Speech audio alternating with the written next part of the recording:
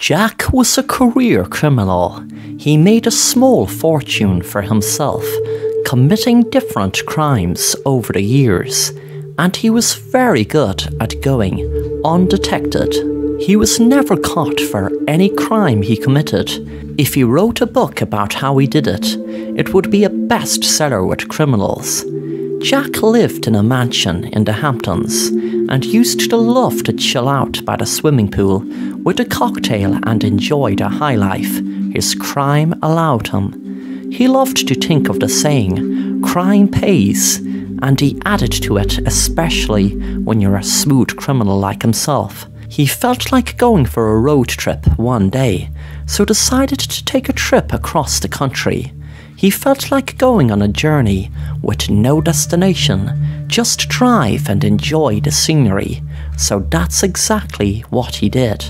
He drove and drove, stopping at motels now and then, and there were times he drove from daytime all through the night. He snorted lots of cocaine to stay awake. He ended up in this small town, which only seemed to have a diner, bank, post office, and another handful of shops. He decided the bank was an easy target, so made up his mind he was going to rob it. When he was in the room in the motel, he saw a flyer that said, Give blood to the blood bank. Call 1 800 Blood Bank now. He thought back to when he was younger, before his life of crime.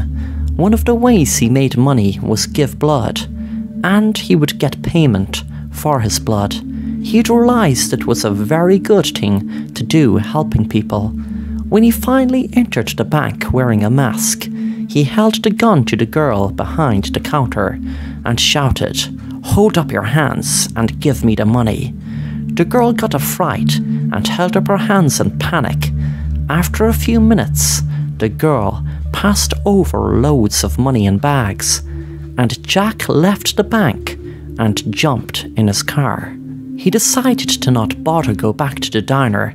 It wasn't worth the risk of getting caught, so he just drove out of town. But before he could even get halfway down the road, he saw a very strange sight. There were lots of pale women in black dresses in a line all across the road. He stopped the car. He got out and shouted, What the hell is this? I'm trying to drive on the road. One of the women pointed towards them and said, You must have seen the flyer, which said give blood to the blood bank. That is a sort of cryptic message to our coven. You see, we are witches, and we have a witches' coven, and that bank is where we fund our coven. And you have taken all our money, so it's not a case of you giving blood. It's a case of us spilling your blood. With that, all the women walked towards Jack, and with knives started cutting into him until his blood poured out of his lifeless body, which lay dead on the ground. Thanks for watching The Assassin Rapper, and if you want to stay up to date on new content, then please subscribe and be sure to hit the bell to be notified on new content.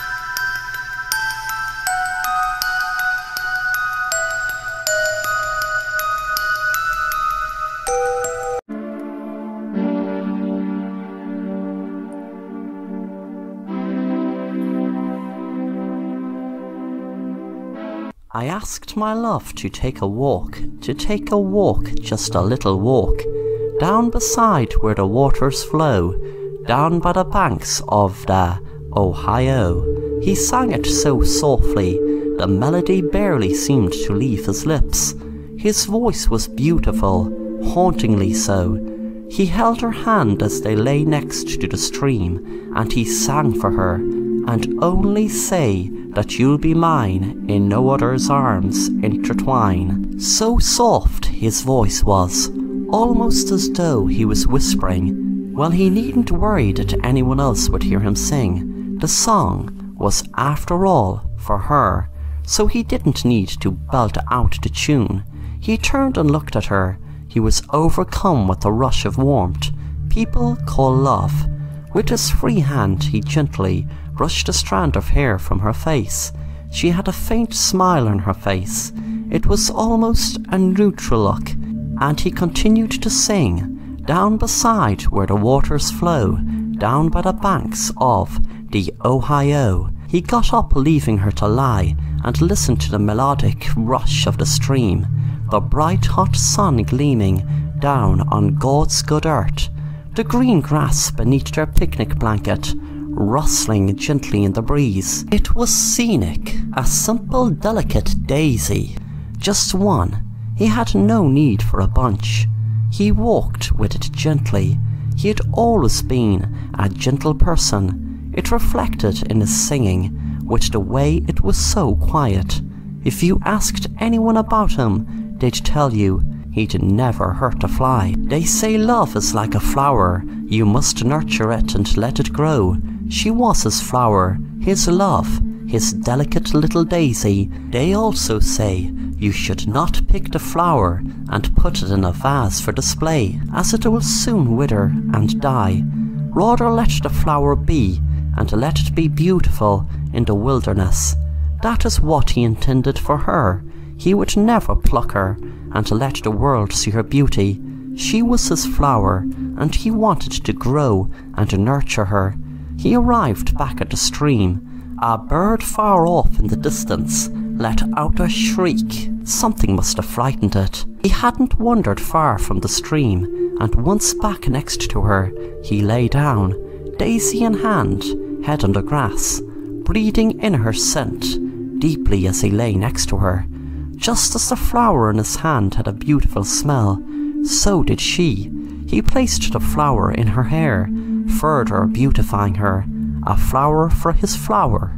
He looked towards the bright sun and squinted. Such a lovely day. The stream continued to flow steadily. He gazed at her with nothing but love. Unfortunately, the love he had for her was unrequited. Well, it didn't matter. He loved her enough for the both of them. He threw the knife into the river as he got up and walked away, leaving her there in all her beauty, flower in hair, young and beautiful, pale skin due to loss of blood flow, but still beautiful. He sang the last bit of the song as he walked away. I held a knife against her breast, as into my arms she pressed. She cried, Good God, don't you murder me. I'm not prepared for eternity. I wandered home tween twelve and one. I cried, My God, what have I done? I've killed the only girl I love, for she would not want to be my bride, and only say that you'll be mine, and in no other's arms intertwine. Down beside where the waters flow, down by the banks of the Ohio. If he couldn't have her in life, he'll have her in debt. It was a secluded piece of the river. He could come visit her any time he'd like.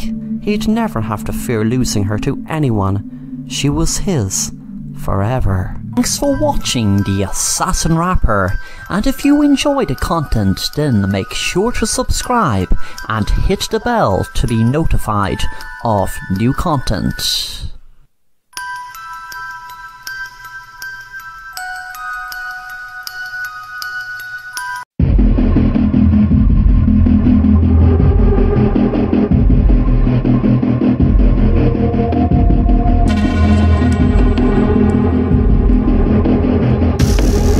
Martin was driving towards the next town as he had an important appointment for work in the morning.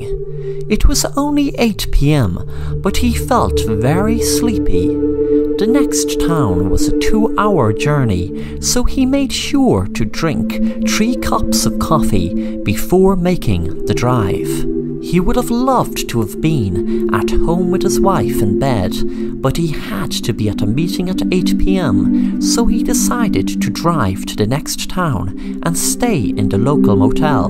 Back in Martin's house, his wife Marta rang Simon, who she was having an affair with.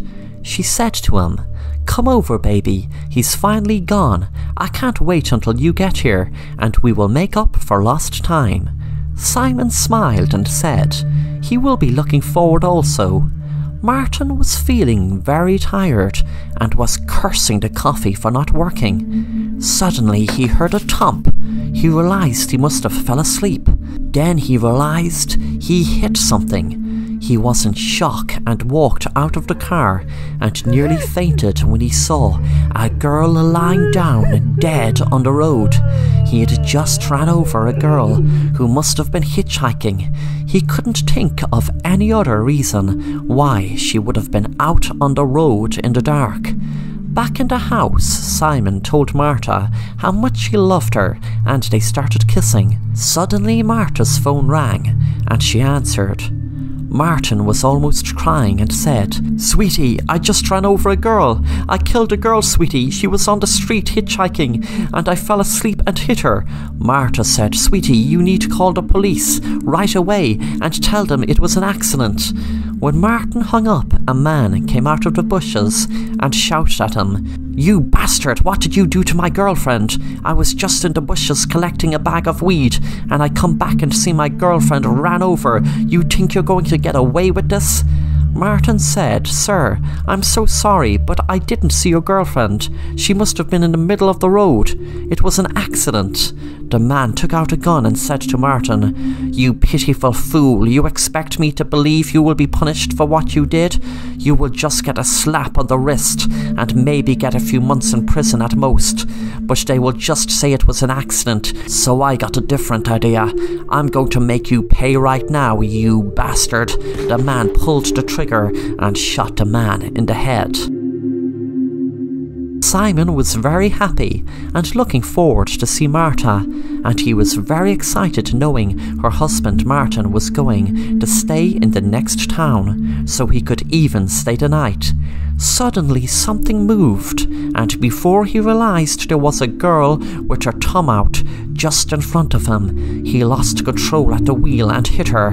He panicked and drove on. Martin's car passed him. He could have sworn Martin didn't see him, because as strange as it looked, Martin seemed to have been falling asleep, and he wouldn't have known only for the light in the car on. Even if he wasn't asleep, he guessed Martin would have no idea it was him in the car, and hopefully he won't know it was him who ran that girl over.